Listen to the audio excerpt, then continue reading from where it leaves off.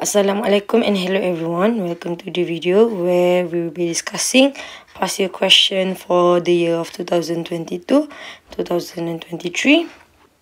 In this video, we're going to discuss question number 2 involving chapter 2 atomic structure. In question A, sketch an energy level diagram to show the first five lines involved when electrons fall between the energy level in the Lyman series. Okay, so that's the first part of the question lah. Okay, so what is an energy level diagram? Energy level diagram is where your y-axis is your energy. Okay, and then your x-axis is your energy level. So what is energy level? Energy level is your N lah. Uh, or we call it as our shell. But usually for 2.1, Bohr's atomic model, we, we usually label label it as energy level okay? So for this one what we're going to draw is actually we have to show a different energy level. So we're going to start with n is equal to 1 so there's there's none of n equal to 0 lah. It must start with n equal to 1 so when we draw it we become n equal to 1 okay? And then for this one we have to draw n equal to 2 n equal to 3 n equal to 4 n equal to 5 and such. Okay until infinity. Okay but then remember uh, this one for the axis only you have to label the y as the energy uh, and for the n axis you have to label each one of this one lah. Okay and then for each of the line make sure the gap is getting nearer to each other. Okay so how i'm to draw it? Okay so this is the drawing again from 1 until 6 uh, this pieces is getting nearer to each other lah if you want to continue until 8 until 7 until 9 it's fine just make sure that it's getting nearer to each other Okay, so this is the axis itself, but then the question asks for the first five lines involved when electrons fall in the Lyman series. Again, uh, this one you have to memorize for each series what is the ground state. To memorize the ground state for each level, again, uh, you can use any anecdotes, but um, what I like to use is either lima baby pergi beli pampers or leman balik pasar break putus. So what does it mean here is that Lehman, the first one, the ground state is equal to 1. The second one, balik, sec, uh, n is equal to 2, 3, 4, 5. So in this question, it says about the Lyman series. So our ground state must be n equal to 1 lah. This is our ground state. Okay, so again, this is when electrons fall between energy level. So it means that the electron must fall n equal to 1. Okay, so it mentioned that first five lines. Okay, so first possibility is when okay so uh, if you want to remember first possibility untuk kita jatuh lah assume this is um tingkat satu so first possibility takkanlah daripada tingkat tiga turun satu the first possibility adanya tingkat dua dulu yang jatuh kepada um, tingkat satu kita lah. So, I'm just gonna label or I'm gonna draw sebab ni. Sketch energy level diagram to show the first five lines. Okay, so the first n equal to 2 to n equal to 1. So this is the first possibility, first line. Okay, second line, second possibility, n equal to 3 falls to n equal to 1. First, second, the third line is from n equal to 4 to n equal to 1. The fourth possibility or the fourth line is when n equal to 5 to n equal to 1. And the fifth possibility is when n equal to 6 to n is equal to 1. So that is the first five lines involved when electrons fall in the Lyman series. Again, the first line is when in when it will fall all into n, n equal to 1 but the first possibility is to 2, second, third, fourth, fifth. So for example, if you draw equal to 7 or equal to 8, it's fine. So you don't have to draw any of the lines lah because the, the question only asks for the first five lines okay so that is for the Lyman series if the question asks for for example for Balmer Balmer our balik so it means that first possibility is 322 422 522 etc lah okay but then the question asks for Lyman series okay so that's the first part of the question the second part of the question is the determine the wavelength of the radiation that emits the highest frequencies for the series. Okay, so for the Lyman series, so you mentioned about the wavelength, about the frequency. So for the Bohr's atomic model, there's a formula that you need you need to memorize. It's not only about the lima baby pergi beli pampers or alignment balik pasar brake putus. These are all the formula that you need to memorize to do your calculation. Okay, there are some of the value are the list of constant. You can refer back to the list of constant. For example, your Planck constant, your speed of light. Okay, and then your Rydberg constant lah. Okay, so let's look back for the question.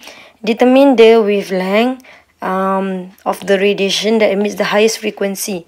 Okay, so the frequency, so if you look based on the formula, where we have our frequency, is this one. Delta E is equal to HV, our frequency. So the question asks for the highest frequency. Based on the uh, formula itself, we can see that the highest frequency means that we have the highest delta E. So what is the delta E? Delta E is, is the energy difference or the energy produced when the electron falls from the higher energy level to a lower energy level. So this is our delta E. Uh, this is all our delta E. We have one, two, three, four, five. There's five of our delta E. So as we can see, the highest difference, the, the biggest delta E is when N is equal to 6 to N equal to 1. Uh, this one energy kita yang paling banyak lah. So for example, if compare N equal to 2, uh, fall to N equal to 1 is very small one value. But the highest one in this case is when N equal to 6, fall to N equal to 1. Okay. So the question asks for, uh, determine the wavelength of the radiation. Again, the highest delta E is when n equal to 6 fall to n equal to 1. So the question asks about calculate the wavelength. So up to you. So for the wavelength, it's either you want to use delta E and then you find the wavelength or you can also use this value lah 1 over lambda. Okay, so first I'm just I'm going to show you both ways. Okay, but first I'm going to use this formula delta E is equal to RH, our Rydberg constant. This one must be a constant value lah. Please refer to the uh, list of constant. This one is in joule because this is delta E.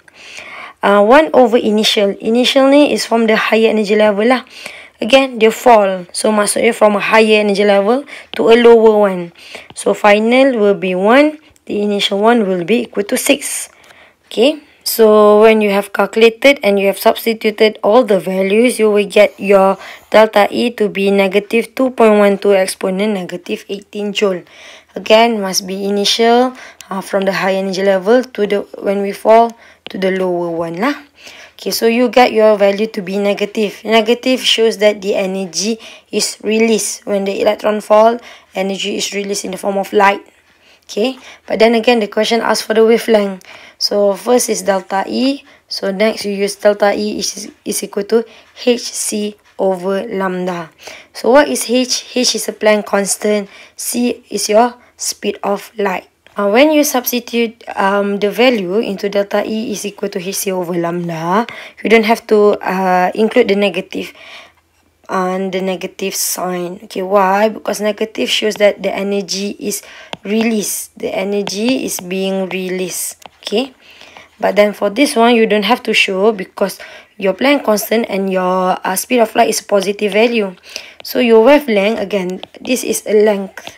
So length there's no negative value lah. So you don't have to put the negative one. Okay. Uh, so once you have calculated then you will get your delta or your wavelength to be 9.38 exponent negative 8 Okay, again the unit is meter. So because this is wavelength, length kita, so it must be in meter lah. Unless the question did ask for in nanometer, then we have to change it. Okay, but then the question only asks um determine the wavelength, so we're just gonna accept it as it is lah. Okay, so this is the one way to find the wavelength. Is where you find your delta E, where the RH is must be this value 2.18 exponent negative 18 joule. Okay and then you find your wavelength. Or also, you can also use this formula. But then for this formula, um, the difference is that not only the RH will be different, you have to make sure this one N1 minus N2.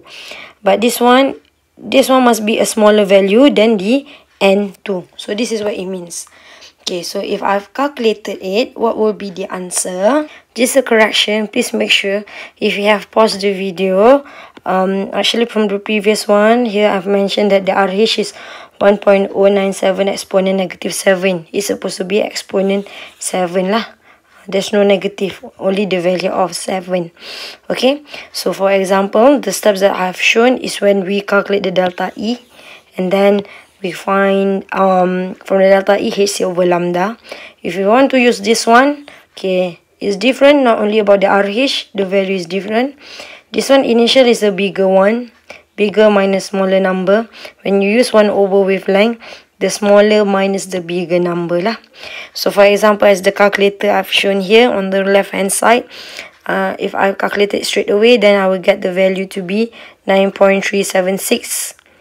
Uh, 376 exponent negative 8 lah. Okay. Uh, so again, you still will get the same answer. But uh, in your exam, you have to memorize. So up to you. Either you want to memorize only this one. Or you want to memorize this one. That's all. It's fine both you will get the same answer to be in this case 9.38 exponent negative 8 uh, negative 8 meter okay so that's the uh, solution for question A okay question B atom X has proton number of 13 determine the number of electron in an orbital with the quantum number L equal to 0 and draw the orbital of the valence electron with L equal to 1. Okay, so first what we have is the proton number. So first step is actually write down the electronic configuration. So for this one, you will get 1s2, 2s2, 2p6, 3s2, 3p1. Okay, so we have 13 lah. Okay, back to the question. So actually there's two. First is determine the number of electron uh, when with the quantum number L is equal to 0. So that is the first question.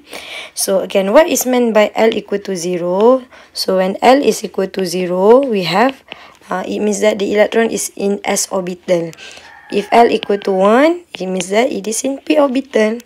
And if L is equal to 2, we get it to be the D orbital.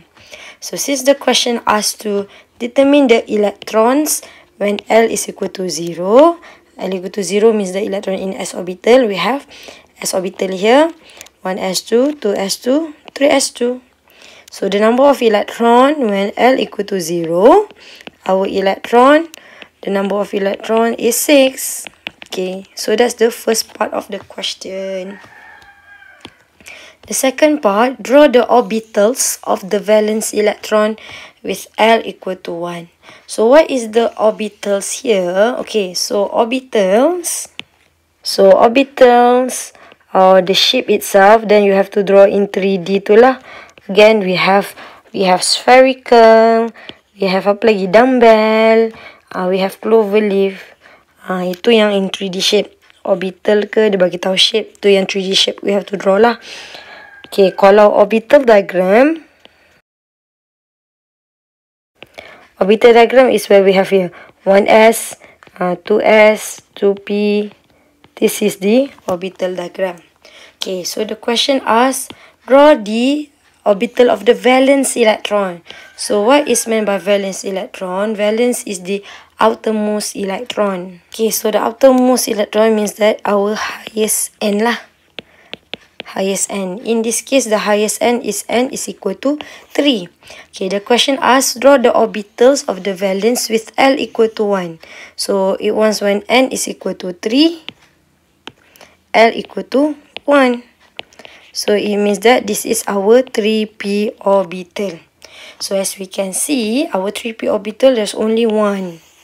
Okay, so for the drawing, so we need only one lah only one p orbital. So how to draw the shape? First, we have to draw the axis. Uh, we have our y, x, z. So actually, for your axis, the axis is interchangeable. If you want to write down here, y, x, z, it's fine lah. Sebab 3D kan? Okay, again, draw the orbitals of the valence electron L equal to 1. And we know that valence to N equal to 3. So here, I'm just going to label this is my 3p. Okay. So again, we have three choices, either X, X, Y, Z. Up to you lah, anywhere you want to draw. So for example, I want to draw here Y. Make sure it is shaded lah. When you draw it, again, dumbbell, draw it in terms uh, shaded to show that it is in 3D. So when you label here, you must draw 3P, Y. Okay. So again, even though here you mentioned draw the orbitals, but actually of the valence electron with L equal to 1, so 3p lah. If the question asks for valence electron, then kena draw 3s 3p. But then the question specifically mentioned L equal to 1. So because here 3p1 we only have one choices, so only one drawing is enough.